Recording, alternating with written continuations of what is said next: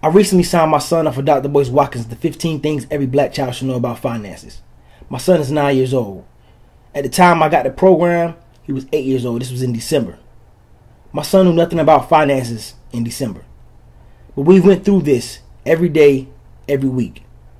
Now, three months later, I overheard my wife telling my mother in law that my son no longer needs lunch money because he told her that he sells snacks that he doesn't eat to kids in school and uses that money or he just saves it.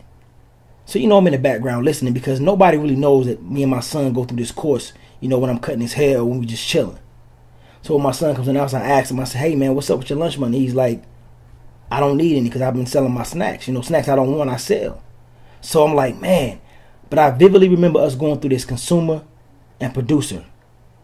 I vividly remember us going through that. See, Dr. Boyce Watkins in these courses, he talks about consumer, producers, mortgages, interest, loan, debt, all of the things that most black kids have no idea about. All of the things that most black parents do not talk to their kids about. I know my mother didn't talk to me about it at all. Credit, all these things in this course they talk about. And I think it's a beautiful thing. I mean, when I invested my money into this course, you know, I, I knew it was going to do good because I believe in Dr. Boyce Watkins, but I had no idea it was going to have this impact. And it's just, I mean, for me, it's just amazing, you know. And I and I say that because earlier today, I was in a community forum, and we were talking about you know, the strifes and the, and the ills, the social ills that the black community faces. And everybody was talking about certain programs. Everybody was talking about, you know, um, legislation and, and, you know, politicians making changes in our community. But I'd be the first to say, I'd rather see more black businesses than more black politicians, first and foremost.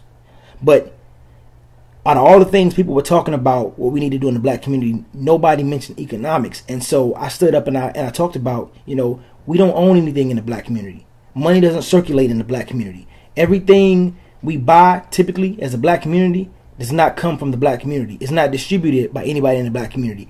It, it's, it's not produced by anybody in the black community. So our money immediately goes into our checks and immediately goes to other communities. Asian communities rarely participate in the election system, but they have the second highest economy in this country behind Caucasians. You never hear Asian complaining about voting. I'm not saying they don't vote, but they don't depend on a politician to push their agenda because they know they control their money. When you control your money, nothing bothers you. And you know, in my opinion, we live in a system of white supremacy. Many may not agree with that, but that's why we can live in a system where we're oppressed, where we economically, you know, environmentally, you know, uh, treated unfairly. You know, people don't treat us the way they treat other races. We're discriminated against is the word I'm trying to trying to find.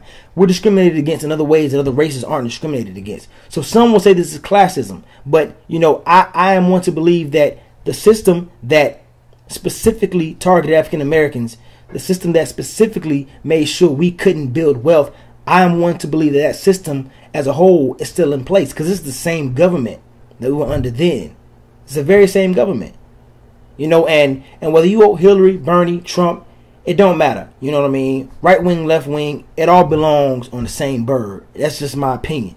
You know, and I just feel like if we don't have an economy, we don't have a voice. So we have to build an economy. And I think what Dr. Boyce Watkins is pushing with this Black Wealth Boot Camp, I think that's probably one of the most important agendas that we can push in the black community. Because if we can own black businesses, if we can hire each other, if we can police our own communities, can't nobody tell us nothing. I'm not saying we shouldn't participate in the in the national, you know, economy because you know that's what you're supposed to do. But what I'm saying is we should be focused on our community. Focused on our community. The bulk of our money should go to our community. That's just my opinion. If y'all agree, let me know. If you don't agree, let me know. But regardless, we gonna build. Real talk.